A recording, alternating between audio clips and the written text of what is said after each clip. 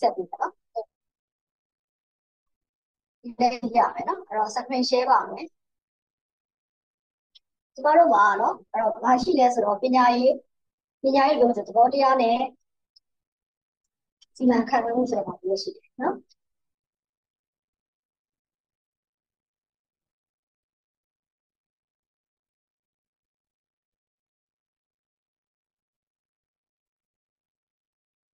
အဲ့တော့ ဘာလို့လဲဆိုရင်သဘောတရားနဲ့စီမံခန့်ခွဲဘာတွေသင်တာလဲဆိုတော့ပညာရေးဆိုတာဘာလဲဆိုတော့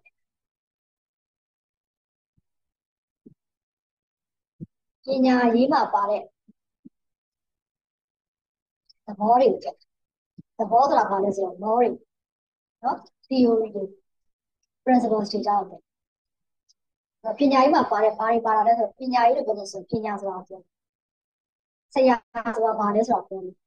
ကျောင်းဆိုတာဘယ်လိုဖြစ်တယ်လို့ပြောတယ်ထိရောက်တဲ့စာသင်ခန်းဆိုတာဘာလဲဆိုတာပြောတယ်ပြီးသွားရင်ဘာရှိလဲဆိုတော့ secret ဆိုတာဘာလဲဆိုတာပြောတယ်ဒါကျောင်းနဲ့ပတ်သက်တဲ့အရာတွေနော်ကျောင်းသားတွေဆိုတာဘာလဲဆိုတာပြောတယ်သင်ရိုးဆိုတာဘာလဲဆိုတာပြောမယ်စာမေးပွဲဆိုတာဘာလဲဆိုတာပြောမယ်နော်ပြီးသွားရင် ပညာရေးစနစ်တွေကဘယ်လိုရှိလဲဆိုတော့ပြောမယ်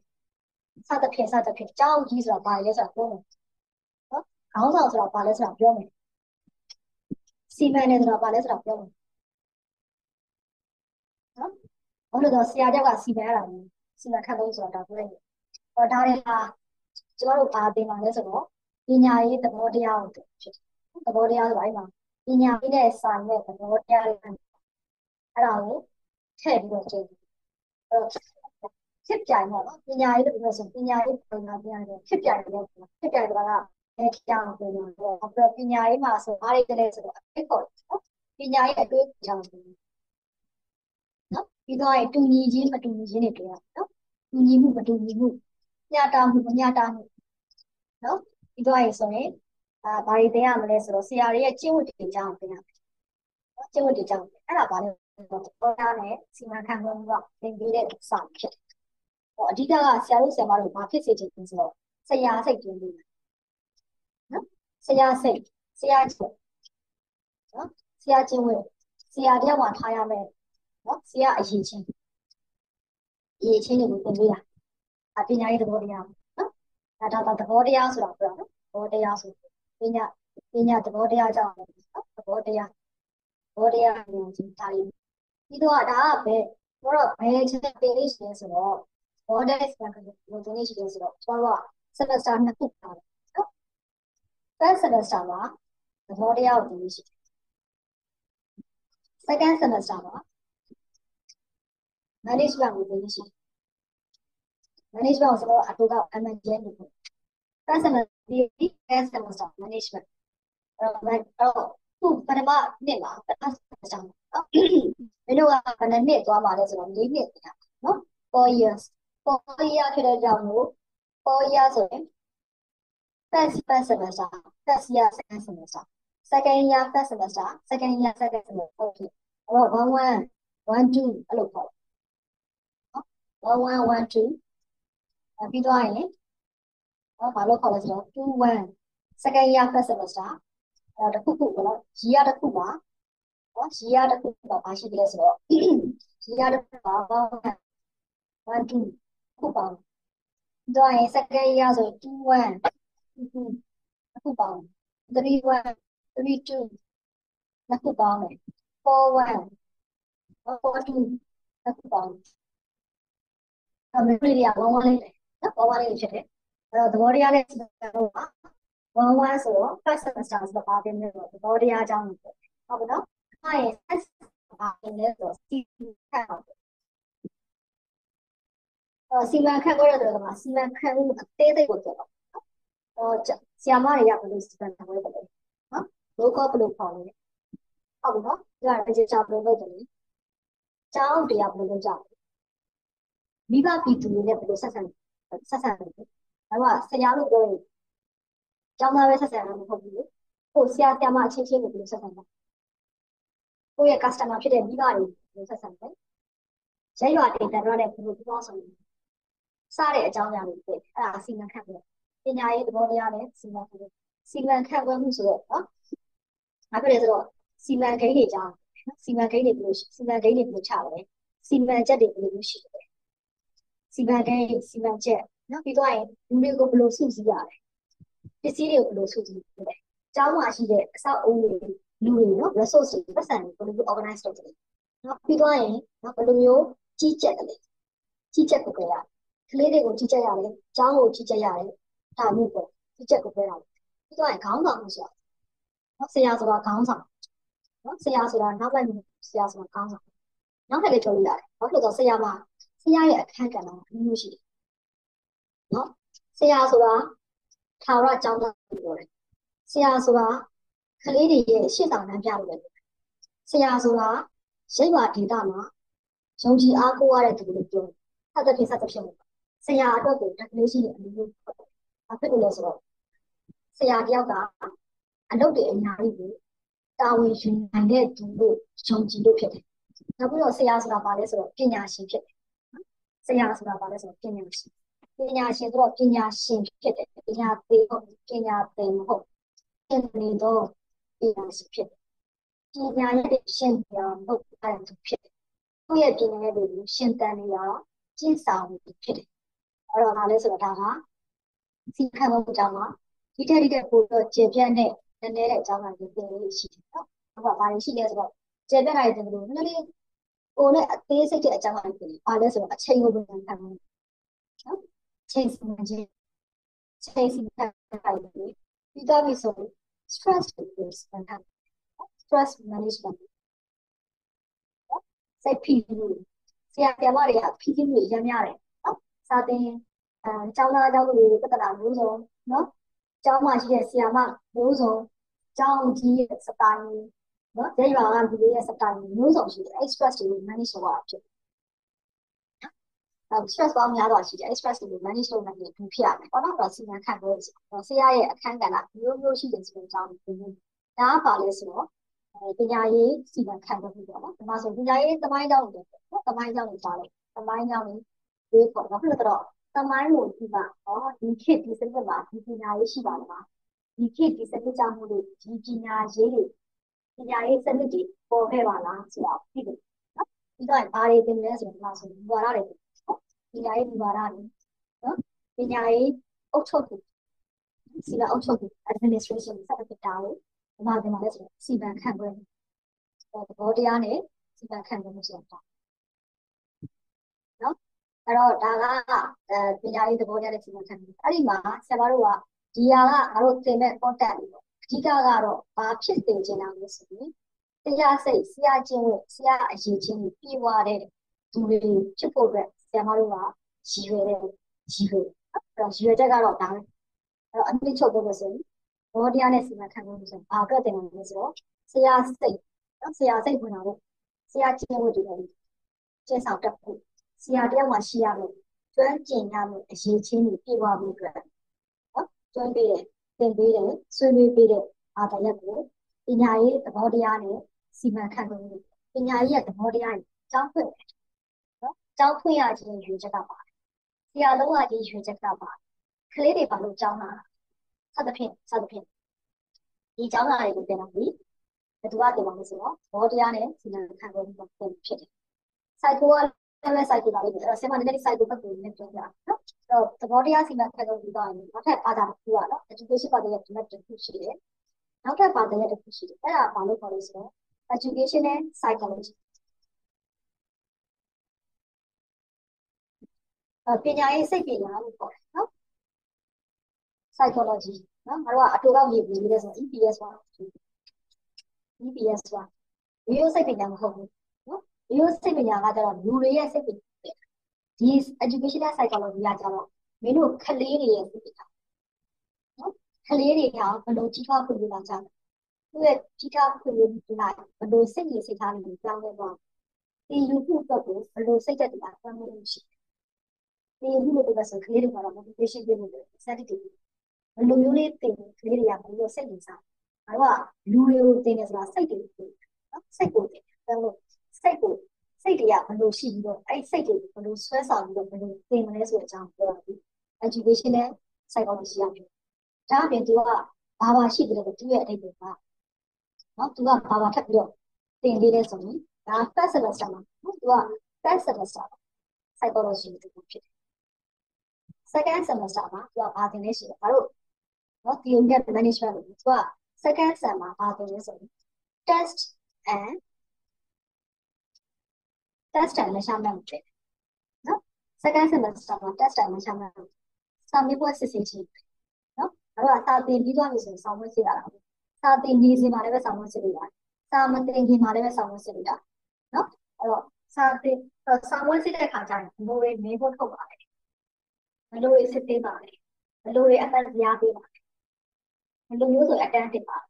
ဘယ်လိုမျိုးဆိုရင် remedy လုပ်ပါဒီလိုအမှတ်စင်းတွေကိုဘယ်လိုမျိုးစီမံခန့်ခွဲလို့ဆိုတော့ကျွန်တော်တို့ကလည်း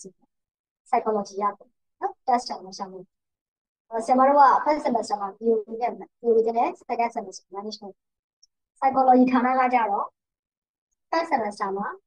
psycho သင်တယ် second semester မှာ test and measurement အဲ့တော့ဆရာမတို့တွေရဲ့နောက်တစ်ခုကဘာရှိသေးလဲဆိုတော့နောက်တစ်ခုကဆရာမဘာဆက်ဆက်လုပ်ပြတော့မဆိုဘာ MED ကိစ္စမှာဆက်ပြီးနော် MED ကိစ္စမှာအဲ့ဒါနေမှာပြန်တောက်သွားမယ်နောက်တစ်ခုကဘာလို့နောက်တစ်ခုကဘာလဲဆိုတော့ methodology ဌာန methodology ဌာနအဲ့တော့ကပညာရေးမှာဘယ်ရစလဲ theory ရစတယ် theory ပြီးတဲ့နောက်မှာသဘောတရားတွေသဘောတရားတွေစဉ်းစားရင်စဉ်းစားရင်ကလေးတွေရဲ့စိတ်ပြီးပို့ ပေါ်လာပေါ်လာရင်ပေါ်လာရင်ကလေးတွေရဲ့စိတ်ဉာဏ်ကစိတ်ပညာပဲပြရတာမဟုတ်ဘူးစာလည်းသင်တက်ရသဘောတရားသိပြီးတော့ဘောတယ်လို့ပြနော်ချို့ကရှိတယ်အာတဲ့ကျွမ်းတယ်ဒါပေမဲ့ဘလို့သင်ရမလဲမသိဘူးနော်ဘလို့သင်ရမလဲမသိဘူးတချို့ဆိုတအားတော်တယ်ဥပမာဆိုတော့အဲနမူနာပေါ့နော်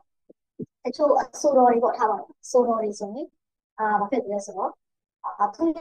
အဆိုပညာရက်မှာနော်တအားတော်တယ်ဒါပေမဲ့သူ့ရဲ့အဆိုပညာရက်ကို သူ့တစ်ဖက်တွေဘယ်လိုသိရလဲသိတယ်အဲ့ပါလဲဆိုသူက expert ဖြစ်တာပြန်လို့မသိတတ်နော်တချို့လည်းရှိတယ်ကိုယ်မှာလည်းကတော့တအားကျွမ်းပြန်မသိတတ်ဘူးပြန်သိတတ်ဖို့ပြန်သိတတ်မှဆရာဖြစ်တယ်နော်ဆရာတော်ကဘာဖြစ်လဲဆိုတော့စာသင်တတ်တယ်တပည့်တွေပြန်ပြီးတော့ရှေ့ဆောင်လမ်းပြဟောတော့သင်ပေးတတ်မှကဆရာဖြစ်တယ်မန်တာလို့ပြောတယ်အဲ့တော့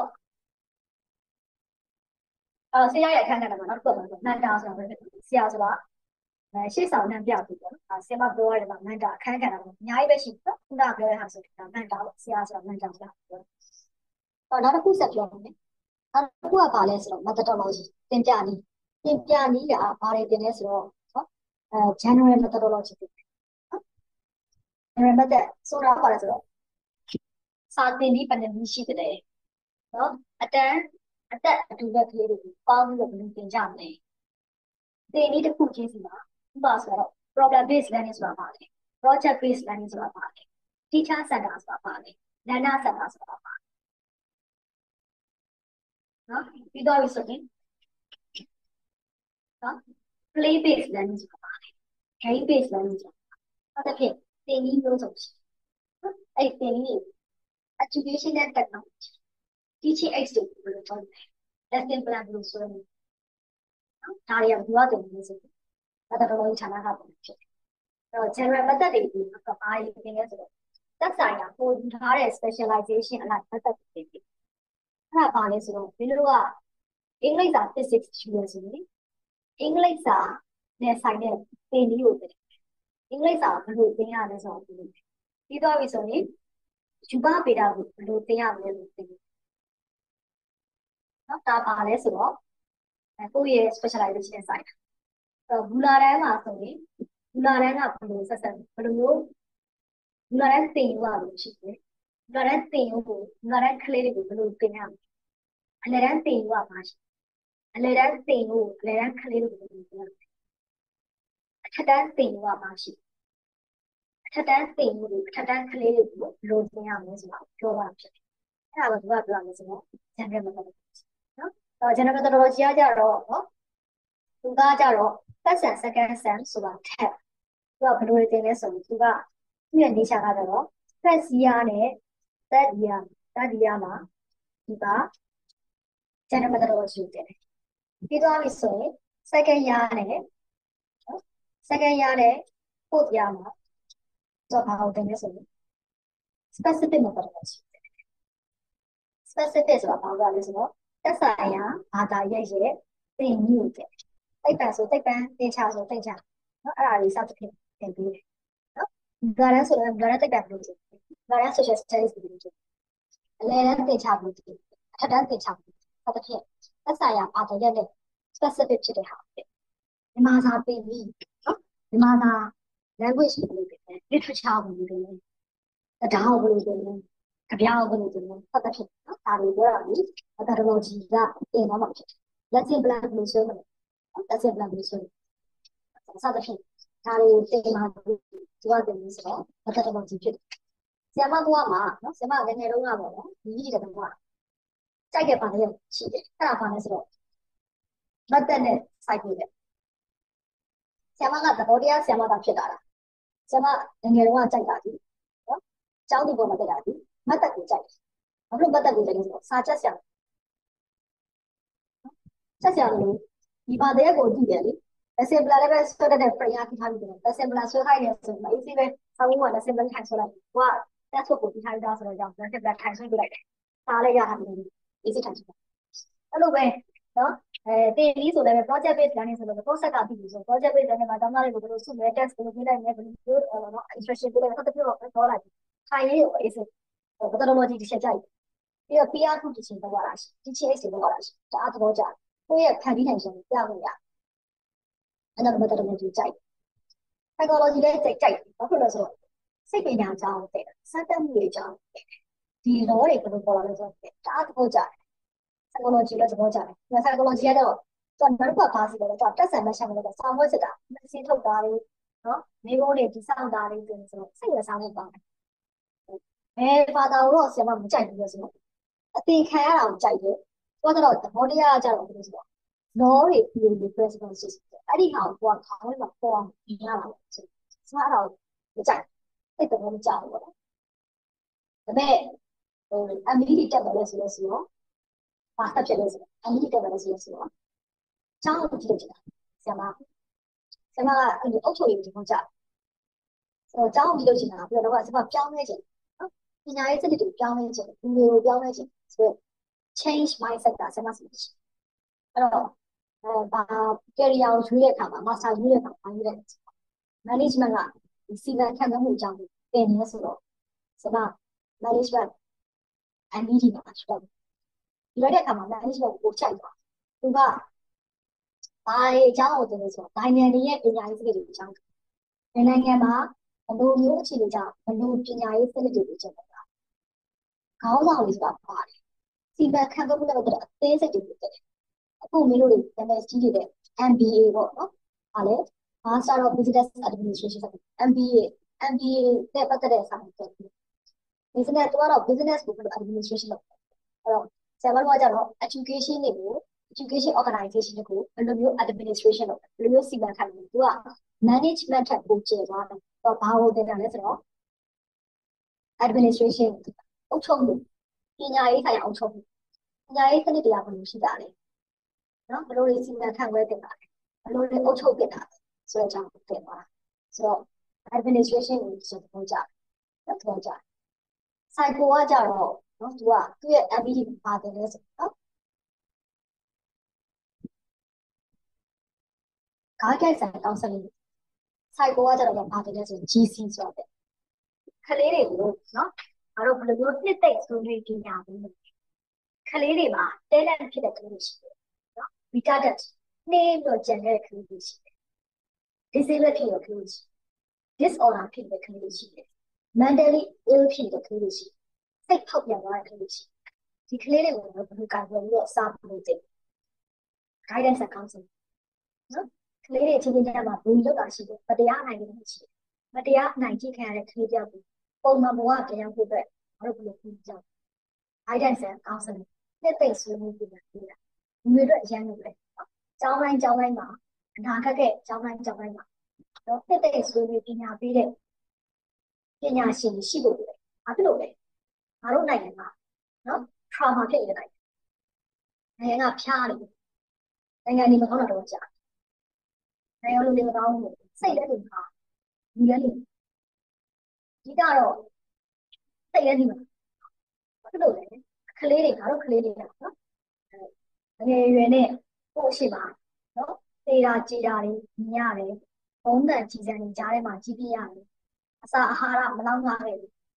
ဒီလိုလေးတွေမရှိအဲတော့သူတို့ရဲ့စိတ်ထဲမှာပေါ့နော်လုံးလုံးဝိထတဲ့အိမ်မှာမရှိဘူးမေပို့ရှိမှာအမေလေးဖေးလေးပြေးသွားတယ်ပို့ရှိမှာကိုယ်မတွေပြေးသွားတယ် ပို့ရှိမှာသူ့ရဲ့ရွရွာကလူကြီးတွေခေါင်းဖြတ်ခံရတယ်နော်အခါတော့အပတ်ပတ်ပုတ်ခံရတယ်မိရှုခံတယ်ထုတ်မြင်ရတဲ့ဟာပို့ရှိမှာကိုယ့်ရဲ့အိမ်ခေါင်းချက်ခံရတယ်ပြာတွေလည်းမြင်တယ်ဒါတွေကထောင်ပါတွေပဲနော်အာညဘက်ဆိုရင်မိုးချုပ်ပူတယ်ဒီတက်ရတယ်အမောင်ကကြောက်တယ်လူတိုင်းမှကြောက်တယ်အဲ့အမောင်ထဲမှာတော့ကြီးနေတယ်ဖြစ်တယ်ဆိုတော့ငါတို့မှာထောင်ပါတွေအများကြီးရှိထောင်ပါတွေအများကြီးရှိဟောသူများနိုင်ငံမှာဆိုရင်တခုခုလေးများချိန်ချောက်လိုက်ပြီပေါ့တခုခုလေးများချိန်ပြလိုက် အဲ့ဒီคือ trauma healing counseling တပတ်ဝင်အားဟုတ်ဘူးနော်ကားလေးနဲ့ပုတ်လိုက်ပြီတာနော်အဲ့ဒါကိုဘာဖြစ်လဲဆိုတော့ counseling တပတ်ဝင်ဟုတ်တယ်တော့ခုစိတ်ထဲမှာရှိတယ်ကြောက်တာအကြောက်တရားကိုဖယ်ချတာပေါ့ချက်ဟုတ်တယ်တော့သူတို့သူတို့ဒီလိုတွေကအရန်ပေါ်ပါလို့အတွေ့ခေါ်တဲ့အားကောင်းဘူးလေဆိုတော့ trauma မရှိဘူးဖြစ်တဲ့တရားဟို resource က limited မရှိအားလုံးကသူတို့ဘက်ကကျွယ်ဝဘယ်သူမှသူတို့ကိုနော်အဲချမ်းသာတဲ့နိုင်ငံဆိုဘယ်သူမှသူတို့ကို ဆင်းရဲတဲ့နိုင်ငံကဆိုပြီးတော့နော်အထင်သေးတဲ့အကြည့်ကိုမကြည့်အဲ့လိုမျိုးအကြည့်ကိုသူတို့တစ်ခါမှခံမခဲ့ခံမခံခဲ့ရအားလုံးကကြည့်လိုက်ဟာဒါတကယ်လူဖြူတွေတကယ်ဥပဒေတဲ့နိုင်ငံတွေတကယ်ပညာရှင်တွေကြည့်တာငါတို့လူမျိုးကြတော့ငါတို့နိုင်ငံကြတော့အများတန်းနော်ဘယ်ဘယ်အားတွေတော့ခိုးဝင်တာလဲနော်ဘာလုပ်လိုက်ပြီလဲဆိုတော့နော်အထင်သေးတဲ့အကြည့်အကြည့်ခံတာငါတို့မှာ trauma တွေအများကြီးရှိအဲ့တော့ငါတို့နိုင်ငံနေပြန်ကောင်းလို့ဆိုစိတ်ပြန်ကောင်းလို့ဆို ကြီးစီမျိုးကြီးကြီးစီမျိုးကြီးကလေးတွေကိုကလေးတွေရဲ့စိတ် trauma တွေရှော့ချလို့ကြီးကြီးနေဆရာဆရာမတွေကိုယ်တိုင်ကကိုယ့်ရဲ့ trauma တွေကိုရှော့ချလို့ကြီးကြီးအဲ့တော့ဆရာဆရာမတွေကိုယ်တိုင်ကကိုယ့်ရဲ့ trauma တွေကိုရှော့ချလို့ဆိုတာကဒီဘက်ကစီမံခန့်ခွဲမှုကဖြစ်တယ်ကလေးတွေရောဒီဘက်ကဆရာဆရာမတွေပုံပြီးတော့တော့ CBR center ပုံပြီးတော့ပြင်းထန်တဲ့လက္ခဏာရှိတဲ့လူကြတော့ GC ဘယ်မှာရတယ်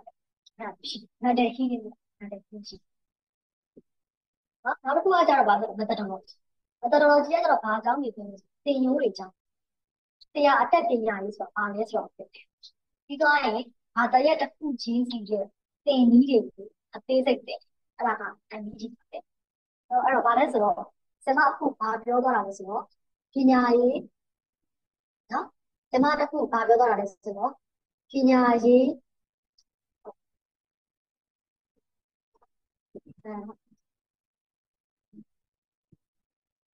ပညာရေးသုံးပါတာရဲ့အကြောင်းကိုဆရာမအနှစ်ချုပ်ပြီးတော့ပြောလိုက်တာဖြစ်တယ်နော်ဟုတ်ပြီအဲ့တော့နောက်ထပ်ကျန်တဲ့အပိုင်းကိုဒီအထိကိုဆရာမကိုမြင်ပြရှိတာ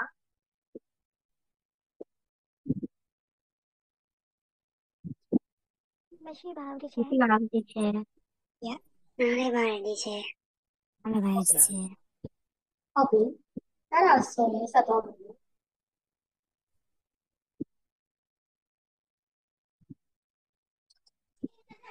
ရှိပါဘူးတချယ်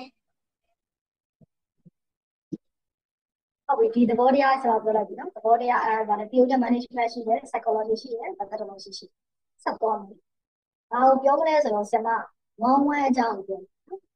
theory နဲ့ management ဒီလိုရဲ့သဘောတရားဟိုဆရာမတို့ဌာနပေါ့ ဆရာမတို့ဌာနရဲ့ဝမ်းဝမ်းမှာဘာသင်နေလဲဆိုတော့ဆရာမပြောလို့ရှင်းပြနော်အော်ဆရာမတို့တွေဒီလိုတွေက9နှစ်တင်ယူကနေ4နှစ်တင်ယူဆရာမတို့ကပြောင်းထားတာဖြစ်တယ်နောက်ပြီးတော့ကိုယ်နိုင်ငံက Federal Democracy နိုင်ငံဆိုတော့ Federal Democracy နဲ့လိုက်တဲ့ပုံစံမျိုးဆရာမတို့ပြင်ထားတာရှိအဲ့တော့ဆရာမတို့ကတင်ယူ reform လုပ်ထားတာပေါ့အဲ့တင်ယူ reform လုပ်ထားတော့တင်ယူ reform ကြောင့်လည်းရှင်းပြ နော်ဟော course code ကတော့ ETH ရှိဆိုတာ educational theory ပေါ့နော်အဲ့ဒါဆိုတော့က new intake 1101ဆိုတော့ course code ပဲဘာတင်မလဲဆိုရင် chapter 5ခန်းတင်နော်ပထမတစ်ခုကဘာကိုတင်မှာလဲဆိုတော့ပညာရေးရဲ့တဘာဝကိုတင်နော်ဒီလေးကျတော့ education တင်မယ်ပြီးသွားပြီဆိုရင်ပညာပေးရာဌာနတွေအကြောင်းပြီးသွားပြီဆိုရင်နော်ပင်ကြားသင်ယူခြင်းရဲ့သဘောတဘာဝတွေဖြ စ်တယ်။ဒီကခုနကမင်းတို့ပြောကြတယ်နော်။သဘောတရားတွေကိုသဘောတရားတွေသဘောတဘာဝတွေပြောတယ်နော်။သင်ကြားသင်ယူခြင်းရဲ့သဘောတဘာဝကနံပါတ်1ပြီးသွားပြီဆိုရင်နော်ဆရာနဲ့ကျောင်းကဥပဖွဲ့စည်းမှာဘလို့အခန်းကဏ္ဍကတရှိတယ်လို့ဆိုတာသိမှာဖြစ်တယ်။ဒါက very basic very basic အဲ့တော့ဒီမှာဆိုရင် nature of education ကတော့ chapter 1ပေါ့နော်။အဲဒါမှဒါပါတင်ပါလဲဆိုတော့ ပညာရေးဆိုတာပါဆိုတော့ပညာဆိုတာပါလဲစပညာဆိုတာပါလဲအမှားမှန်ကောင်းကျိုးခွဲရပါတော့ညာဒီလိုသိကြရတယ်ဟုတ်ပါဘူးပညာဆိုတာအမှန်တရားတော့သင်တာဖြစ်တယ်အဲလိုပညာပေးရဆိုရင်တော့ဘာစဉ်းစားလဲဆိုတော့ညတာမှုနဲ့နော်တာတူညီပြမှုတူညီမှုနဲ့တာတူညီမျှမှုဆိုတဲ့ဘောတရားကိုနားလည်ဘာဖြစ်လို့အဲ့ concept ကိုထည့်လာလဲဆိုတော့ငါတို့က federal နိုင်ငံပေါင်းမှာဖြစ်တယ် federal ဆိုတဲ့သဘောတရားကဘာလဲဆိုတော့ data နဲ့အနည်းဆက်ဆုံးနော်ဝန်ဆောင်မှုတွေပေးရဖြစ်တယ်ဒီတော့ကလက်ထိတစ်ချက်လက်မတစ်ချက်ဆိုပြီးတော့အားလုံးကိုဒန်းမှုဆိုပြီးတော့ခါတဲ့စဉ်းစားချက်ရှိတယ်ဖြတ်ဝေတဲ့စဉ်းစားချက်ရှိတယ်ဒါပေမဲ့ငါတို့ကဘယ်လိုစဉ်းစားမလဲဆိုတော့လက်ထိတစ်ချက်လက်မတစ်ချက်အစားနော်ပို့ပြီးတော့လိုနေတယ်ဆိုပို့ပြီးတော့ပေးဖို့လိုတယ်တိတ်မလို့ဆိုတိတ်မပေးနဲ့သူကလိုရတဲ့အခြားသောအရာရှာပေးရနော် equality နဲ့ equity တစ်ခုလုံးစဉ်းစားရအားလုံးကိုဒန်းတူ base base base ပေးရတာရှိတယ်တော်ရင်တော်တယ်လို့ကလေးကိုချီးမြှောက်မှုတွေနော်သင်ကြားပေးရမှာတော့တော့မှာရှိကလေးညံ့ရင်ညံ့တယ်ကြံခဲ့ရင်ကြံခဲ့တယ်နတ်တယ်တယ်ကြံရောက်အောင်လို့ဘာလို့ကကလေးကိုကြည့်ရှုဆောက်ရှောက်ဖို့အဲ့ဒါပါလဲဆိုတော့ equality equity equity equity နဲ့ equality equity ဆိုတာပါလဲဆိုတော့ရွေချက်အတူတူကိုရောက်ဖို့တော့ဘာတွေပေးတာဘိုးကကလေးတိုင်းအားလုံးစာတက်ရေးလို့ပြောတဲ့အချိန်ကနောက်ပုံမှန်တိုင်းသွားတဲ့ကလေးရှိပုံမှန်တော့ငါတို့ကြောင်းသားတော့ဘူးပါနော်ပုံမှန်လေးတော့ပုံမှန်တုံးနဲ့သွားတဲ့ကလေးရှိတယ်တားတော့တဲ့ကလေးရှိနော်ညံပြီးသွားတဲ့ကလေးရှိတက်လက်ဖြစ်တဲ့ကလေးရှိချုပ်ကလေးရကြတော့ စားတော်တယ်ဒါပေမဲ့အိမ်ရဲ့အခက်ခဲတခြားစီးပွားရေးအခက်ခဲရှိအဲ့လိုအခက်ခဲတွေကြောင့်နောက်ကျနေတာရှိဒါဆိုအဲ့လိုနောက်ကျတဲ့ကလေးတွေကိုဆွဲဖို့ disadvantage ဖြစ်တဲ့ကလေး marginalized ဖြစ်တဲ့ကလေးကိုဆွဲဖို့ disabled ဖြစ်နော်လက်ရှိလိုနာမကြောင်စလောက်ပြက်လက်ပြက်ဒီကလေးမျိုးတွေရောမဟုတ်ပါအဲသူကြီးတော့အခွင့်အရေးချဖို့အတွက်သူကြီးတော့ပညာသင်ခွင့်ချဖို့အတွက်ငါတို့ဘာလုပ်ကြလဲဆိုတဲ့စကားချက် စဉ်းစားအဲ့ဒါ equality အဲ့ equity equity နော်အဲ့ equal အဲ့ဒါတရားပြမှာ equity ပဲနော် equality ရကြတော့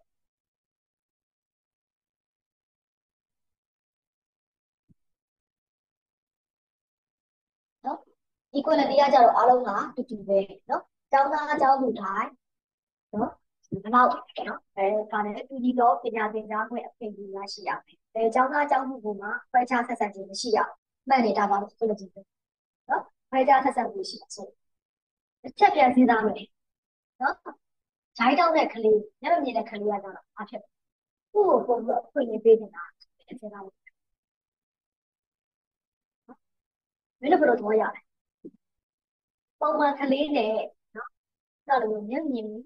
ဂျိုင်းတောင်းတဲ့ဖြစ်တဲ့ကလေးနဲ့သူဆက်ဆံတဲ့မှာအဲကြဆက်ဆံတယ်ဒါမှမဟုတ်လည်းအလေးပေးဆက်ဆံတယ် လေးပေးဆက်ဆက်တယ် လေးပေးဆက်တယ်ရှင် လေးတဲ့ ချေ လေးပေးဆက်ဆံတယ်တချေ ဒီချေလေးပေးဆက် အာ ဆက် မ တ န် ယ် ကလေးလေးလိုပဲဆက်ဆံတ အ ယ် မှန်ကလေးလိုပဲဆက်ဆက်တယ်တူတူပဲဆက်ဆံတယ်ဒီစိတ်ကမလာစေ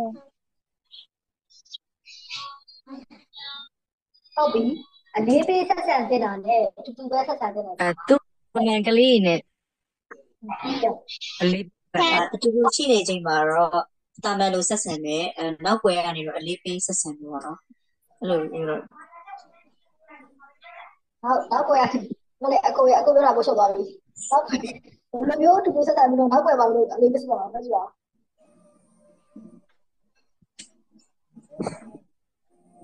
အာ populating ဖြစ်ချင်အဲ့ပြောဟို အဲစာတင်ချိန်တို့ဘာလို့ကြလို့ရှိရင်တော့ဗောနော်အတူတူသူတို့တွေတော့အဲပုံမှန်လိုပဲဆက်ဆံပြီဗောနော်ဒီကလေးကိုမျိုးပဲဒါပေမဲ့နောက်ကနေတော့အများနဲ့သူကလိုအပ်လေလိုအပ်ချက်ကိုတော့အများကိုလိုက်ကြည့်နေပြီးတော့အဲသူ့ကိုတော့ဟိုအဲဒါ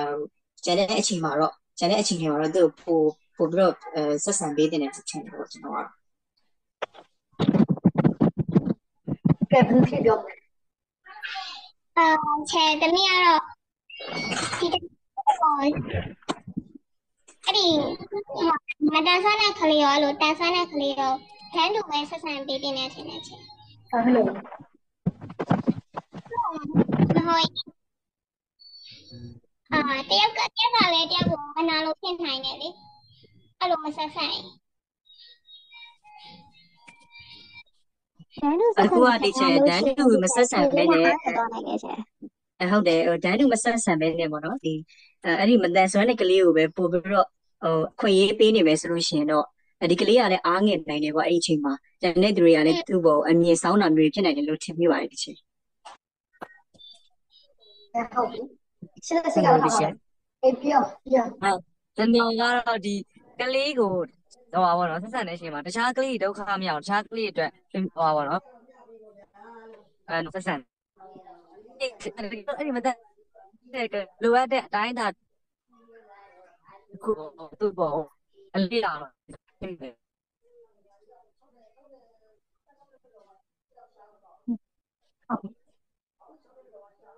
အဲတာပြောတာကြားတယ်ဟုတ်ပြီ88ကလည်းထောင်လိုက်88ကပြောမှလားပြောရတယ်လက်မထောင်လို့ရပါတယ်ကိစ္စမရှိဘူးစာတင်ပြဆိုပြောလို့ရပြောဟုတ်ဆက်ကျွန်တော်မြင်လေဒီငါကျတော့ချက်တယ်ဒီဆရာတယောက်နေတဲ့ကျွန်တော်တို့ကဒီ respect နဲ့ dignity ကျောင်းသားပေါ်ထားမို့လို့ကျွန်တော်တို့ပညာရှင်ဖြစ်တဲ့ ပထမဆုံးထားမယ်စိတ်လို့မြင်တယ်နောက်တစ်ချက်ကမတန်ဆွမ်းလို့ပြောတဲ့အခါမှာသူကမင်းမြင်တာကဟို visual ဖြစ်တာလားဒါမှမဟုတ်စီ language ဘာသာမှာဖြစ်တာလားဒါမှမဟုတ်စီတခြားဒီ capture ပုံစံမျိုးဒီတခြားခြားအကြားအာရုံဖြစ်မှဖြစ်လာတာဒီပေါ်မှာဆရာအနေနဲ့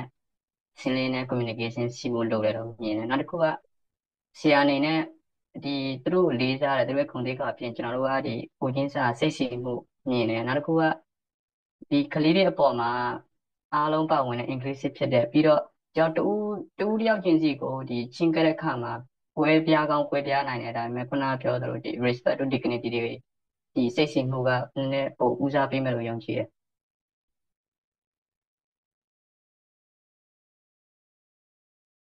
ဟုတ်ကဲ့ကျေးဇူးပါအဲမင်းတို့တွေဆွေးနွေးတော့တာမှန်တယ်နော်အဲဆရာမတော့သဘောကျတယ်ဟုတ်ပြီကျန်တဲ့သူတွေရောဖြစ်ဆွဲဆုံးပြပါတော့26ပြောပါရှိ ဟုတ်ကဲ့ဒီချေကျမတွေ့ဒီတမိတွေ့ဘူးရပါတော့ကလေးတယောက်ကကြတော့မွေးရပါလက်မပါဘူးသူ့ကိုလေအဲ့လိုတခြားကလေးတွေထက်ပို့ပြီးတော့အာရုံစိုက်ပေးတာမျိုးလက်ဟိုရေရေမတောက်နိုင်လို့ရှင်ကိုပြီးတော့တောက်ပေးတာမျိုးဆိုလို့ရှင်သူကပို့ပြီးတော့လေသူ့ကိုကြည့်ရသူကပို့ပြီးတော့အားငယ်သူ့ကိုအဲ့လိုမျိုးဟိုတခြားကလေးတော့မလုံနိုင်ဘူးသူကအားအားနေတယ်လို့အဲ့လိုမျိုး အဲ့အဲ့လိုအထင်နဲ့ပေါ့နော်သူ့ကိုကူးလုပ်ပြီးလို့ရှင်သူကပို့ပြီးတော့အားငယ်တာကိုတွေ့ရတယ်အဲ့ဒါဆိုတော့လေနောက်ပိုင်းကျတော့ဘယ်လိုမျိုးလဲဆိုဟိုသူက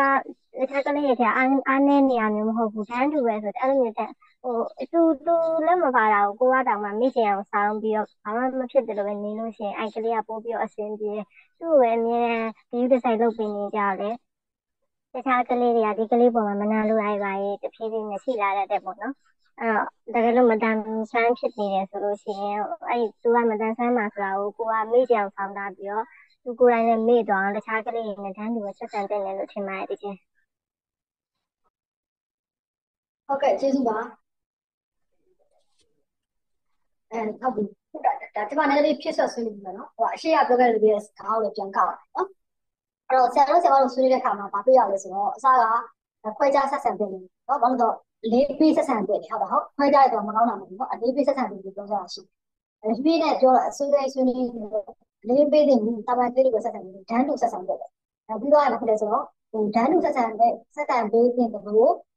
သူ့ကို supportive ပေးတဲ့ဇာတ်မျိုးနဲ့ဆွေးနွေးတာရှိတယ်။ဘာလို့တန်းတူဆက်ဆံနေတာလဲလို့စဉ်းစားတဲ့အခါမှာအခုဆွေးနွေးကြတယ်နော်။အဲဆရာတရားအနေနဲ့ကျောင်းသားလူအားလုံးကိုဘုံသိက္ခာရှိရှိနဲ့ကျောင်းသားကျောင်းသူရဲ့သူ့ရဲ့သိက္ခာကိုယုံကြည်သောအဖြစ်ရေးစားသောအဖြစ်ဆက်ဆံမှုတွေ ဟုတ်တယ်နော်။ငါတို့ကအာဒီကလေးကလက်ပါလို့မျက်စိမြင်လို့ဆိုပြီးတော့ကဲတနာကြတနာကြလေးဆိုတဲ့အကြည့်အကြည့်တာမျိုးဟုတ်တယ်။တနာကြနဲ့အကြည့်အကြည့်ဆိုကိုကကလေးရအောင်တော့ဆိုတော့ကလေးကိုတိတ်ချတာပဲ။အဲတနာကြဟဲဆိုဒါကိုကအလကားနေအတနာခံတယ်ကိုကကိုလုံးနိုင်တော့ရှိရသားနေနော်ကိုလုံးနိုင်တော့ရှိရကိုတနာရလေးခဲလို့ပိုချိုးမြချိုးပေါ့နော်ဆိုတော့ပိုချိုးမြချိုးလို့ထင်ပေါ့ဆိုတော့ဟိုစေနာရှိပြီးဆိုဆန့်ဆိုကြည့်တာပေါ့အမှန်တကယ်အဲ့ဒါကမပြောက်တော့ဘူးသိခါကြတယ်နော်သိခါကြတယ် ဆိုတော့ငါတို့ကအဲ့လိုမျိုးမလုပ်ရအဲ့တော့အဲ့ဒါကိုရှောင်တယ်ရှောင်တော့ဘာလဲဆိုတော့ကလေးကိုတနာတယ်ဆိုတဲ့အချိန်ကြီးကြည့်ကလေးကိုငါတို့ဘာလုပ်ပေးနိုင်လဲဆိုတော့ဘာကူညီပေးမလဲဆိုတဲ့အစဉ်းစားချက်စဉ်းစားတဲ့ခါကျခါမှာပဲအလေးပေးဆက်ဆံနေဆိုတာထက် measure ဆို measure ဆိုတာအခြေအနေတွေတော့ခံပြီးလို့ဆိုတာပေါ့ဥပမာဆိုတော့စာသင်ရင်တော့အဖြစ်တလဲဆိုတော့ကလေးတွေကိုနော်ပုံမှန်ကလေးတွေကိုသင်တဲ့အချိန်မှာသူ့ကိုလည်းပဲနော်ဓာကြကိရိယာထားပါလားမဟုတ်လည်းပဲသူ့ကိုလက်သိမြင်ရတဲ့ပုံစံမျိုးဖြစ်အောင်နော်သူ့ကိုပါလဲ အဲဒါဘာလို့ပြောတော့နော်လက်မြင်လက်မြင်တွေပေါ့နော်လက်မြင်တွေသုံးတဲ့စာလေးတွေတော့လုပ်ပြီးပါအလေးတွေစဉ်းစားလို့ဒါမှမဟုတ်လည်းပဲသူ့နဲ့အတူအဲနော်နောက်ထပ်စပိုးတယောက်ထားပြီးတော့အဲ့စပိုးကသူ့ကိုအဲသူ့ရဲ့လက်ပါလေပြောတော့လက်တင်ဂီတာလက်လက်ကလေးမှာပေါ့နော်တင်ဂီတာလေးပြအားပြီးတော့လက်ကလေးကိုပေါ့နော်ရှိတယ်လက်လက်ချောင်းလုံးမှာစားလေးရေးပြီးတော့ကလေးကိုဘာလဲဆိုအနှစ်ချုပ်ပြောသွားတာမျိုးလုပ်လို့ရတယ်ပေါ့အဲ့ဒါပါလဲဆိုတော့အဲ့ဒါဒီသူ့ကိုကတော့ assist လုပ် assist လုပ်တာဆိုတာသူ့ကို တောက်ချက်တာမဟုတ်ဘူးသူ့ကိုတိတ်ခါချတာမဟုတ်ဘူးပေါ့နော်အဲ့လိုမျိုးချက်ရှိတာအဲ့တော့ပြောချင်တာကသနာလို့ဦးပြီးတယ်ဆိုတာထက်သူ့ရဲ့ conflict ခံတော့ကြည့်ဖို့နေတယ်အဲ့တော့အဲ့လိုမျိုးပြည့်ခါကျတော့ဘာလို့ခလေးမှာပါဖြစ်လာလဲဆိုတော့ assist တာပေါ့နော်အော်ငါလုံနိုင်သူရားတယ်လို့ငါလုံနိုင်လို့ဆိုအိတ်ဆန်စတာလို့ငါတို့ကတော့အခုဘာဖြစ်လဲဆိုတော့ညညနားမကြရဘာလို့လဲငါတို့ကဘာဖြစ်လဲညညနားမကြတော့ပြစားပြီးတော့အနှိတ်ဟာလေအနှိတ်တယ်နော်မျက်စိမြင်နားမကြရတဲ့အတွက်ကိုအ နှိတ်တယ်ဘွားလို့ခိုင်းမျက်စိမြင်နားမကြရနားမကြတာမဟုတ်ဘွားကအနှိတ်တယ်ဘွားနဲ့ပြီးတော့ပါလားမဟုတ်ဘူးဟုတ်တယ်နော်အဲ့တော့မျက်စိမြင်နားမကြခြင်းဟာချို့ရှိနော်မျက်မြင်မျက်မြင်တွေဘာလို့ထားလဲအနှိတ်တယ်ဖြစ်အတမွေးကြပေးခိုင်းတယ်မျက်မြင်တွေဘာခိုင်းတာလဲဟာလေအဲဘာလို့ခေါ်လဲဒီရဲ့ဝါရဲ့နော်ဝါနဲ့လက်မှုပညာသင်ခိုင်းလိုက်တယ်အဲ့ဒါတက်တက်သူတို့ရဲ့နော်စတမွေးကြောင်းကိုဒီဗီဒီယိုသိခါချတာသိခါချတာအဲ့တော့သူဘာလို့ချင်တယ်လဲနော်မျက်မြင်တွေလည်းပဲစာရေးလို့ရတယ် မျက်မြင်တွေလည်းပဲချင်းဆိုလို့ရတယ်တချင်းဆိုတဲ့အခါမှာလည်းဟာမျက်မြင်မျက်မြင်လေးပို့လို့တောင်းလိုက်တာဆိုတော့ထက်သူ့ရဲ့အတန်ကတကယ်ကို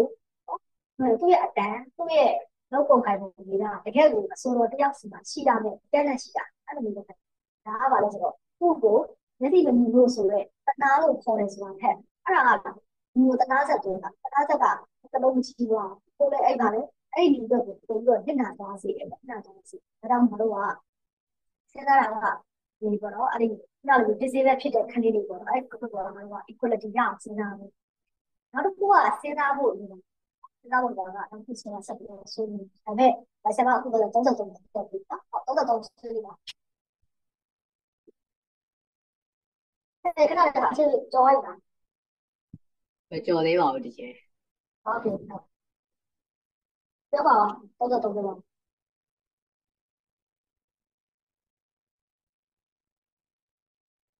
အော်ဟုတ်ကဲ့တကယ်ဟိုဟာတကယ်လို့ဟိုလေကိုတင်တဲ့ထဲမှာ autism လိုမျိုးအာကလေးတွေပါလာလို့ရှိရင်ရောတယောက်တည်းခွဲတင်ရမှာလားအများနဲ့ပူးပေါင်းပြီးတင်ရမှာလား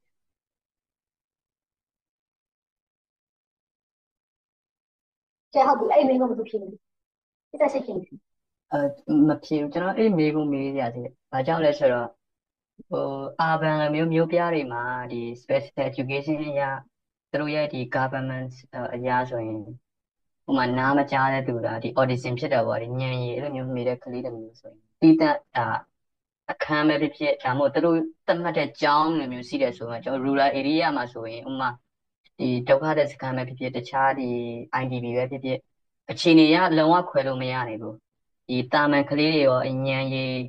အားဖြစ်ပေါ့လေညံရည်အားဖြစ်သူတို့ကနည်းနည်းလေးပြောမယ် audition ပဲကျွန်တော်ပြောလိုက်မယ်နော်ဒီနောက်တစ်ခုကဒီဥမာဟို ချက်တောက်တစ်ဖက်ပြက်နေတော့မှသူမှလက်နှစ်ဖက်ရှိတယ်အဲ့ကလေးအကြားကောင်းတယ်ဆိုအဆင်ပြေတယ်ဟိုလက်နှစ်ဖက်လုံးပြက်တယ်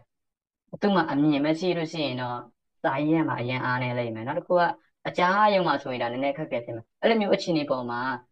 ဒါကြောင့်မလဲကျွန်တော်ဖက်ဖက်တွေလိုမျိုးဒါပညာရေးကိုတိုက်နေတာပေါ့လေဟိုအဲ့ဒီပုံမှာခုနတော့အစလည်းကျွန်တော်မေးဖို့မေးချင်တယ်ဟိုတကယ်အခြေအနေမပေးဘူးပေါ့လေဆီယာမအင်အားရဆိုတဲ့အခုချိန်မှာအရန်ခက်ခဲကြက်တဲနေတာဆိုတော့ ဒီအခြေအနေပေါ်မှာဘယ်လိုမျိုးလှုပ်ဆောင်တင်လဲပေါ့လေပြီးတော့တခြားနိုင်ငံတွေမှာဆိုတော့တကယ်မသိပါဘူးဆီယာမပုံလေးလာဆိုတော့ဘယ်လိုမျိုးမှဒါဘယ်လိုမျိုးဒါပေါ့အကောင်းဆုံးပေါ့လေအရန်မထိရတော့မှအကောင်းဆုံးနည်းလမ်းနဲ့ဒီ solution ကဘယ်လိုမျိုးဖြစ်တင်လဲပြီးတော့ဟိုကျွန်တော်တစ်ချက်စိုးရင်တာဘာလဲဆိုတော့ဒီ encourage participation မှာအရင်အားနေသွားမှစိုးရင်တယ်ဟိုသိကြတဲ့ဟိုဆရာဆိုတာပထမဆုံးချစ်ချင်းမြတ်တာနောက်တစ်ခုကစိတ်စိတ်ချင်းကပတာနာဒါမဲ့ဘယ်ဆရာတိုင်းမှာ ဒီတာအခြေခံဖြစ်လို့ဆိုမှတချို့ဆရာတွေမျိုးအရန်ကြမ်းတဲ့ဆရာတွေမျိုးဆိုရင်ဒီကလေးတွေဘက်ကအရန်ကိုဝမ်းနေမှုကောင်းအဲ့ပေါ်မှာမေးခွန်းထပ်ပြီးတော့ထပ်လောင်မေးခြင်းဖြစ်တယ်ဒီပေါ်မှာဘယ်လိုလုပ်သင့်လဲပေါ့ဟုတ်ကျွန်တော်ဖြည့်ရှင်းပါမယ် Okay ရှင်းတာဟုတ်ပြီပါဟုတ်အဲကျွန်တော်ကတော့အဓိကက resource ပေါ့ဒီ teacher resource ရှိမယ် student resource ရှိမယ်အခု facility resource ပေါ့နော်အဲ့ဟိုမှာမူတည်ပြီးတော့မှကျွန်တော်အဓိကဘာကိုစဉ်းစားရမလဲဆိုလို့ရှင်ကလေးတ ပေါ့နော်ကလေးအတွက်အဆင်ပြေမဲ့ဟာဆိုတော့သူသူ့ education ပေါ့သူ့ real education ကျွန်တော်ဘယ်လို resource နည်းနဲ့အဲအကောင်းဆုံးနည်းနဲ့အဲအဲပေါ့နော် connection ရှင်းနေတော့မူတည်ပြီးတော့မှဘယ်လိုကောင်းဆုံးလုပ်မလဲဆိုတော့မူတည်ပြီးတော့မှပဲသူ့ကိုအဲတော့ဘယ်လိုခွဲတင်တာခွဲတင်မယ်ပေါင်းတင်တာပေါင်းတင်မယ်အဲ့တော့သူ့ရဲ့အဲခုနက audition ဖြစ်နေတဲ့စိတ်ပိုင်းနဲ့တော့ဘက်ကရှိရရဲဆိုအပိုင်းနဲ့ကိုချိန်ညှိပြီးတော့မှ management ပြန်လုပ်ရမယ်လို့ထင်ပါကျွန်တော်ထင်တယ်ကျွန်တော်အားလုံးတစ်ချက်မေးနေတာ အဲကြောင့်မို့ကျွန်တော်ဆရာတွေမှာအဲ့ဒီစိတ်ရှိတယ်ကျွန်တော် policy တွေကအရင်အားနေနေတာညနော်ကျွန်တော်တို့ကဟိုရေတူသွားချင်တာမဟုတ်ရေစီသွားချင်တာ policy ဘိုင်းရတယ်ကျွန်တော်ဒီပေါ်မှာကျွန်တော်ပို့ပြီးတော့နည်းနည်းဆွေးနွေးသိချင်တယ်ပြီးတော့ဘယ်လိုမြင်လဲပေါ့လေတခြား အဲ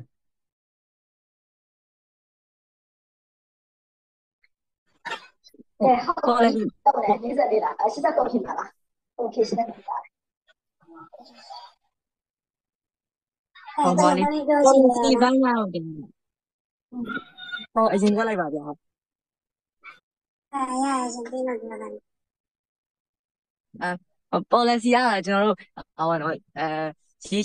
ရှည်သွားမယ့်ဟာမျိုးပေါ့နော်ဒါတခြားတက်ဆိုင်နေအောင်ကျွန်တော်ဘယ်လောက်မရမှာပေါ့နော်ဒါတော့တခြားတခြားတော်တော်လေးလည်းဖြစ်စေတိုင်းတော့ဒီလည်းဖြစ်စေကျွန်တော်ရေရှည်စဉ်းစားမှရဖြစ်တယ်အဲမဲ့အဲလက်ရှိတော့ current မှာပေါ့နော် current မှာသူ့ကိုကျွန်တော် value education level လို့ဟာမျိုးကို ပဲလဲဆိုတော့ကျွန်တော်ဒါရှိတဲ့ဟာနဲ့အရင်စဉ်းစားမှာပေါ့ဟုတ်ပြီလက်ရှိရှိနေတဲ့ဟာကိုချိန်ကြည့်ပြီးတော့မှဆက်စင်းသွားမယ်ပြောတယ်ဟုတ်ပြီနောက်တစ်ယောက်ပြောပါဦးခုန144လား127လားဟုတ်ကဲ့ရှင်တမီးပြောပါရှင်အဲပြောပါရှင်အဲအဲ့ဒါကပုံစံသတ်မှတ်လို့မရဘူးချင်နေတယ်ရှင်အဲတချို့ရဲ့တချို့ကလေးတွေက ကြာဆို audition ဖြစ်တယ်ပေမဲ့လည်းတချို့ကလေးចောင်းသားတွေနဲ့ဓာတ်ရိုက်သင်ပေးနိုင်တယ်ဓာတ်လူသင်နိုင်တယ်ဆိုရင်အဲ့ကြောင့်ဓာတ်လူသင်နိုင်တဲ့အခြေအနေပေါ်မှာမူတည်ပြီးတော့သူ့ကိုသင်ပေးလို့ရပြီးလုံးဝအဆင်မပြေတဲ့ခါကျရင်ခွဲသင်တာလို့ပေါ့အဲစီးမြင်းကြီးတစ်ခုတည်းကိုပဲတသက်မထဲလုံးလို့ရမယ်လို့မထင်ဘူးတချင်အခြေအနေနဲ့ချိန်ခါပေါ်မူတည်ပြီးတော့ management ပြောင်းရမယ်လို့ထင်တယ်တချင်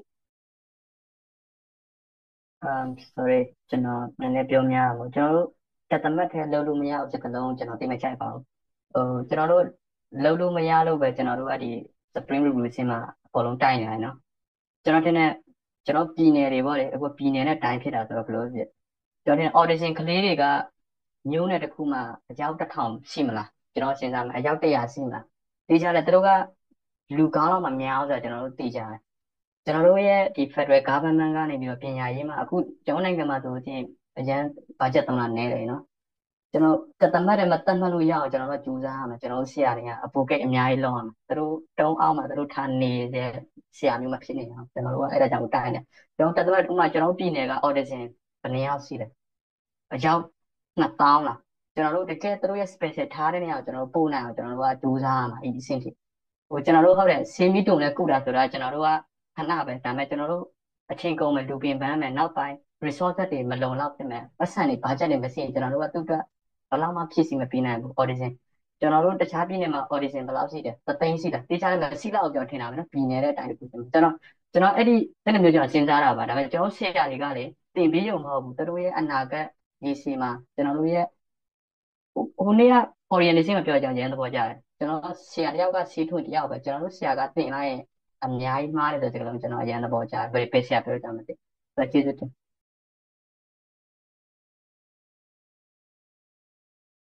ဟုတ်ကဲ့ကျေးဇူးပါတနေ့တည်းပြောပြရရင်ကျွန်တော်ဆက်ပြောမယ်နော်โอเคတနေ့တည်းပြောပါရှင် ဟုတ်ကဲ့ဒီရှင်တမီးပြောချင်တာလေအခုလို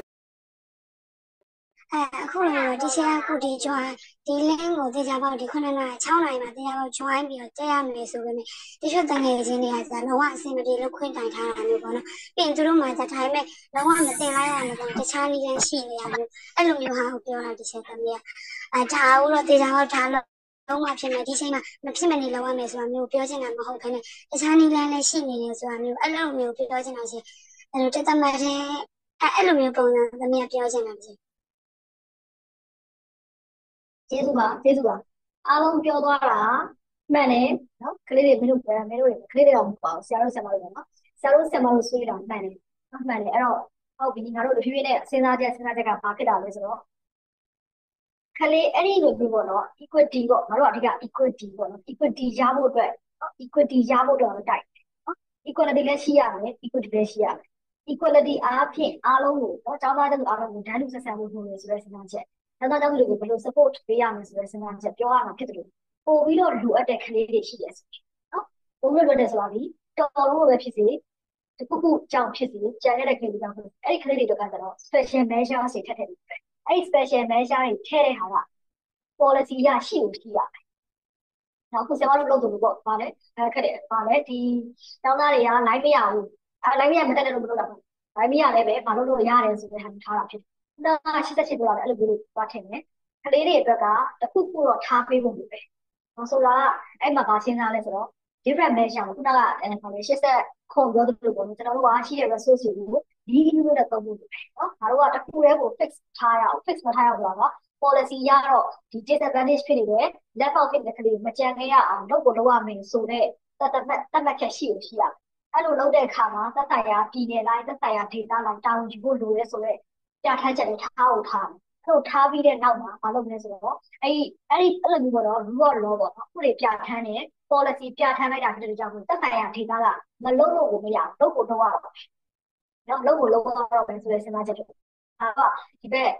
စီမံအုပ်ချုပ်မှုပိုင်းနဲ့ကြည့်တာပေါ့နော်အခုဆရာဆရာမတယောက်ရဲ့သဘောတရားရဆိုရင်ပြန်ပြောပြောလို့ဆိုရင်အာဆရာတွေဆရာမတွေဆိုတာကလေးတွေကိုချစ်တယ်ဒါလည်းကလေးတွေဘက်ကိုဆရာကျင့်ဝတ်တဲ့အညီဆွဲခေါ်ပါဖြစ်တဲ့ကြောင့်ဘာပြောဆွဲခေါ်ပါလဲဒါပေမဲ့လည်းတချို့သောနေရာတွေမှာကြံခဲ့တာမျိုးဖြစ်နိုင်တယ်ဘလို့မျိုးအခုခက်အခုလိုမျိုးပေါ့နော်ဆရာအင်ကအခက်ခဲရှိနေချိန်မှာအခက်ခဲရှိရဲဆိုတဲ့အကြောင်းပြချက်နဲ့ကလေးတွေကိုလက်ကကြံခြံထားခဲ့တာဖြစ်နိုင်တယ် ဒါကြောင့်မို့ခုနက88တောင်ဆိုတဲ့သဘောတရားကဒါကြောင့်မို့ကျွန်တော်တို့ကျွန်တော်တို့တွေကအခက်ခဲတွေတော့လည်းပဲမကြံခဲ့ရအောင်လို့ဘယ်လိုမျိုးတုတ်မလဲဆိုတော့နော်အဖြေကိုလည်းတခါတည်းစဉ်းစားထားဖို့မဟုတ်ပြီးတော့ထုတ်ပြန်ထားဖို့လိုလဲဆိုတော့ပြောတာဖြစ်အဲ့တော့ငါတို့က education emergency ပေါ့နော်တကယ်ကိုအရေးပေါ်ကာလမှာခက်ခဲနေတော့လည်းပဲနော်ခက်ခဲနေတော့လည်းပဲငါတို့ခြံခဲ့လို့မရတဲ့အရာတွေရှိတယ်။အာခက်ခဲနေလို့ဒီလိုပဲခြံခဲ့မှာဆိုတာငါတို့ policy တော့ရှိရအောင်။ပညာရေး policy ဆိုတာဒီအားလုံးကိုမျှတရမယ်။ သာတူညီမျှမှုရှိရမယ်နော်။အာခက်ခဲနေလို့ line မရလို့ခြံထားခဲ့မယ်။မဟုတ်ဘူး။ line မရတဲ့ခံလေးတွေအတွက်ငါတို့အချိန်မှဘယ်လိုစဉ်းစားမလဲ။ထောင်ကျနေတဲ့ခံလေးတွေအတွက်အချိန်မှဘယ်လိုစဉ်းစားမလဲ။ဟုတ်ဘူးနော်။နောက်ပြီးတော့ဘာဖြစ်လဲ။ဒီမျိုးပေါ့နော်။အဲဒုက္ခရောက်နေတဲ့ခံလေးတွေအတွက်အချိန်မှဘယ်လိုစဉ်းစားမလဲ။ဆိုတော့အဲ့ဒီစဉ်းစားချက်တွေကိုကိုကစဉ်းစားဖို့နောက်လိုမျိုး autism လည်းဖြစ်တာ autism ကလေးမျိုးဆိုလည်းပဲအဲကျမတို့ကငါတို့ကပေါ့နော်ဒီလိုမျိုးအဲ ဒီကျောင်းတွေမှာကျောင်းတွေမှာ wheelchair တွေလည်းနာလို့ရတဲ့ကျောင်းမျိုးနော် wheelchair တွေနာလို့ရတဲ့ကျောင်းမျိုး LGBT LGBT ကလေးတွေအတွက်ဆိုလည်းပဲဒါပေမဲ့ဆိုရင်ဒါပေမဲ့ဆိုအိမ်သားအစားပေါ့နော်အိမ်သားအစားကြားအိမ်သားမအိမ်သား LGBT အိမ်သားဆက်ဖြစ်ဖြစ်ခွဲခြားပေးရအောင်ဒါကလည်းဆိုသူတို့က special measure တွေကိုထားပေးရမတူကွဲပြားခြင်းနံပါတ်1ချက်မတူကွဲပြားခြင်းကိုလက်ခံလို့ဖြစ်တယ် မတူကွဲပြားတာကတော့ဘယ်လိုစဉ်းစားမလဲစုံလင်ကွဲပြားတယ်ဆိုတဲ့စဉ်းစားချက်ကစဉ်းစားပြီးတော့ဒီစုံလင်ကွဲပြားနေတဲ့သူတွေနဲ့ငါတို့ကရောင်စုံပန်းကြီးတစ်ခုကိုတိဆောက်ရောင်စုံပန်းကြီးတစ်ခုကိုတိဆောက်ဖို့အတွက်ငါတို့မှာပါလို့အပ်တယ်ဆိုတော့ဒီပန်းလေးတွေကိုနေရာချထားပြီးလို့ဥပမာဆိုရင်ဒီ LGBT လေးတွေဘယ်လိုစဉ်းစားပြီးလဲ disadvantage marginalized ဖြစ်တဲ့သူတွေအတွက်ဘာလို့ special measure စီထားလဲအဲ့ special measure ထားကြည့်အောင်တနာလို့ထားတာမဟုတ်ဘူးရည်ရွယ်ချက်ကအတူတူကြောက်အောင်သွားမှာဖြစ်တဲ့ကြောင့် လိုအပ်တဲ့ energy ကိုဖြည့်ဆည်းပေးတာဖြစ်စဉ်းစားချက်ပေါ့။အဲဒီစဉ်းစားချက်ကိုစဉ်းစားမယ်ဆိုရင်အဲ equality ရော equity ရောရမယ်ဆိုတဲ့စဉ်းစားချက်ရှိတယ်။အဲ့တော့အဲ equality equity ရဖို့ဆိုတော့ငါတို့ကဟုတ်ပြီ။ငါတို့ဆရာဆရာမတွေကိုယ်တိုင်ဘုလိုစဉ်းစားချက်တွေနားလည်ဖို့ပဲ။ခုနက autism ကလေးမျိုးရှိတော့ autism ကလေးမျိုးကသူကလှုပ်ပါရတယ်။လှုပ်လို့ပါရတဲ့ခါကျရင်ဆရာမတစ်ခါကြုံဘူးတယ်ပေါ့နော်။အဲဒီဆရာမကြီးဆိုရင် KG တန်းမှာပေါ့။အဲ့ဒီ ဟို disable ဖြစ်နေတယ်ပြီးတော့ autism ဖြစ်တယ် disable နဲ့ autism နှစ်ခုဖြစ်တဲ့ကလေးကိုပေါ့နော်အဲဒီ KG တန်းထဲမှာထည့်ထားတယ်ထည့်တဲ့အခါမှာဘာဖြစ်တယ်လဲဆိုတော့အတူတူတွဲတင်တာနော်အတူတူတွဲတင်တာနော်အဲ့ဒီဆရာမစီမှာဒီလိုမျိုးပေါ့နော်ဒီ disable ဖြစ်နေတဲ့ကလေးကိုဘယ်လိုမျိုးစီမံရမလဲဆိုတော့တင်ဒီအဲ့ဆရာမစီမှာမရှိအဲ့ဆရာမစီမှာအဲ့တင်ဒီမရှိဒါပေမဲ့ဆရာမကြီးဒီသူကကလေးတွေကိုအရန်စေနာရှိတဲ့အခါမှာသူကကလေးတွေထွက်တဲ့တွဲတင်တဲ့အခါမှာဘာပြဿနာဖြစ်တယ်လဲဆိုတော့အာဒီမှာတွဲတင်တာမကောင်းပြတာမဟုတ်ဘူး ဘာအခက်အခဲဖြစ်တယ်လဲဆိုတော့အဲ့ဆရာမစာပေလေးတဲ့အချိန်ရတဲ့အချိန်မှာကလေးကဟိုကလေးကထပြီးတော့ရေးဆိုထပြီးပါနော်ကလေးကဝါရေးဆိုထပြီးပြီးတော့ဘေးနာကလေးကိုတိုက်တာဒါဒါစာပေလေးတဲ့နော်စာပေလေးနဲ့အချိန်တက်တဲ့အချိန်မှာအဲ့လိုထားလို့တော့သင်္ကန်းသာပြတ်သွားသင်္ကန်းသာပြတ်သွားတော့အဲ့လိုမျိုးကိစ္စတွေလည်းရှိတာနိုင်ဒါဆိုရင်ငါတို့က ဒီလိုမျိုးကလေးမျိုးတွေဆိုရင်တော့ဘယ်လိုကင်တယ်လဲဆိုတော့ငါတို့တွေသိထားဖို့လိုတယ်မချန်ထားခဲ့ရလို့ဆိုတော့ဘူးဖြစ်တယ်မှန်တယ်ဒါဒါအပြင်မချန်ထားခဲ့တဲ့ကလေးတွေကြောင့်မလို့ရှိနေတဲ့ကလေးတွေဟိုတော့ငါတို့ဘယ်လိုမျိုးလေးပေါ့နော်အဲစီမံမလဲဆိုတော့လည်းငါတို့စဉ်းစားရမယ့်အချက်ဖြစ်တယ်လို့ပြောဒီမှာကဆွေးနွေးခြင်းဆွေးနွေးခြင်းပဲအဲ့တော့ကျေးဇူးပါဒီနေ့ကကျွန်တော်တို့ဆွေးနွေးဆွေးနွေးရနော်ဆွေးနွေးရေးဆွေးနွေးရေးနဲ့နော်ဆွေးနွေးဆွေးနွေးရေးနဲ့ အကြီးကြီးအကြီးကြီးပေါ့ဒါပြောလို့ဆိုကြကြကြကြပြပြဆွေးနွေးနိုင်ကြတာတွေ့ရတယ်နောက်တစ်ခုကအာဒီပေါ့နော်ဒီ new intake ကကလေးတွေဟာနော်ကလေးတွေကမခေဘူးလို့ဆင်မသိလိုက်တယ်ပေါ့နော်ပထမဆုံးအချိန်မှာလေးကသိလိုက်တယ်အဲ့တော့ကိုဝမ်းသာတယ်ဆင်မတို့ဘယ်လိုကိုရွှေ့လိုက်ရတာတို့တွေအနာဂတ်တော့ကိုအကျိုးရှိတယ်လို့ဆင်မရှုံးကြည့်တယ်နော်ဟုတ်ပြီအဲ့တော့ဆင်မအချိန်ဒီဆင်မ session 2ကိုဆက်သွားမယ်မင်းတို့ကလည်းဒီခန်းကထွက်ပြီးတော့မင်းတို့ရဲ့သက်ဆိုင်ရာအချိန်ကိုသွားပြီးတော့ကြောင်းအောင်ဖြစ်တယ်အားလုံးပဲ မနေ့ဖြန်မနေ့ရှိမှာအဲ့ချက်မရှိအင်္ဂါနေ့ဆိုတော့မနေ့ဖြန်ကဆင်မတို့ဆင်မပါတဲ့အချိန်မဟုတ်ဘူးမနေ့ပြန်ကဘာဖြစ်လဲဆိုတော့မတ်တက်ဖြစ်နော်မတ်တက်ဖြစ်နော်မတ်တက်ဖြစ်မတ်တက်ချင်းဖြစ်ဟုတ်ပါပြီဒီနေ့ကတော့ဒီလောက်ပါပဲအဲဆယ်မဘာလို့ဘယ်တော့ပြန်တွေ့မလဲဆိုရင် data break တော့ဟုတ်တောက်ကြဖြစ်မယ်နော်တောက်ကြမှာပြန်တွေ့ပါမယ်အဲ့တော့မင်းတို့လည်းပဲဒီခန်းလေးကထွက်မယ်ဘယ်ခန်းကိုဝင်မလဲဆိုရင်မင်းတို့ရဲ့သက်ဆိုင်ရာ ဒီနေ့ကအင်္ဂလိပ်စာဆိုအင်္ဂလိပ်စာသမားတွေက S1 F အင်္ဂလိပ်စာဝင်မှာအင်္ဂလိပ်စာဟုတ်တဲ့ကလေးတွေကခဏနားပါ9နိုင်မှာပြန်လာခဲ့နော်ဟုတ်ပြီနော်ဆရာမနောက်တစ်တက်တော့ပါလို့ကျေးဇူးများကြီးတင်ပါတယ်